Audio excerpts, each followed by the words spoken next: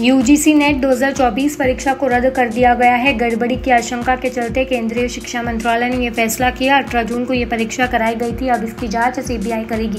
इस पर अब उद्धव ठाकरे गुट के सांसद संजय राउत की तरफ़ से बड़ी प्रतिक्रिया सामने आई। संजय राउत ने कहा, हमारे प्रधानमंत्री मन की बात करते हैं और परीक्षा पर चर्चा भी करते हैं, लेकिन देश में परीक्षा के नाम पर जो फ्रॉड हो रहा है, उस पर चर्चा नहीं करेंगे।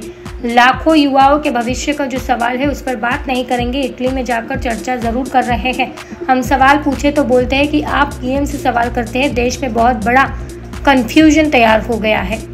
यूजीसी नेट 2024 परीक्षा को रद्द कर दिया गया है। गड़बड़ी की आशंका के चलते केंद्रीय शिक्षा मंत्रालय ने यह फैसला किया। अठारह जून को यह परीक्षा कराई गई थी। अब इसकी जाँच सीबीआई करेगी। इस पर अब उद्धव ठाकरे गुट के सांसद संजय राउत की तरफ़ से बड़ी प्रतिक्रिया सामने आई। संजय राउत ने कहा, हमारे प्रधानमंत्री मन की बात करते और परीक्षा पर चर्चा भी करते हैं, लेकिन देश में परीक्षा के नाम पर जो फ्रॉड हो रहा है, उस पर चर्चा नहीं करेंगे।